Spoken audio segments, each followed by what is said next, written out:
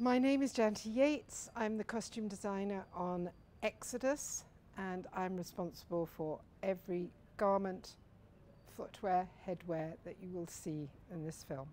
Well, the period that I'm designing for is 1300 BC and that is quite a fantastic era because so much was recorded on every wall of every pyramid that has ever been built.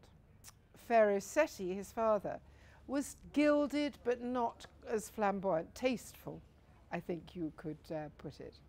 And Queen Tuya, Sigourney Weaver's character, is very flamboyant and very sexy.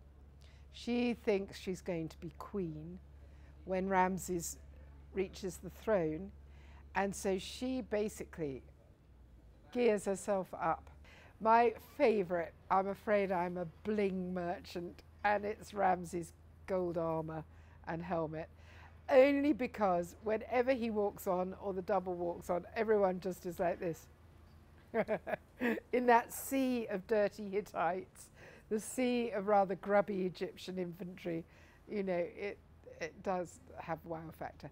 But it's hard to pin that. I'd say that was my favourite, favourite, but there was a huge amount of um, Ramses, every time I dressed him, I just fell in love with him. Ridley's the best person for these epics, I think, um, because he's a painter and he has biblical vision and he's a visionary anyway and he's an inspiration. But I think because he can see his canvas and you just watch him, as I'm sure you've got on film, setting up a shot. No detail goes unmissed and everything is so painterly. It's so exciting to watch and you know that every frame is going to be deep joy. It's always wonderful to work with Arthur Max because he's just an utter down and out genius.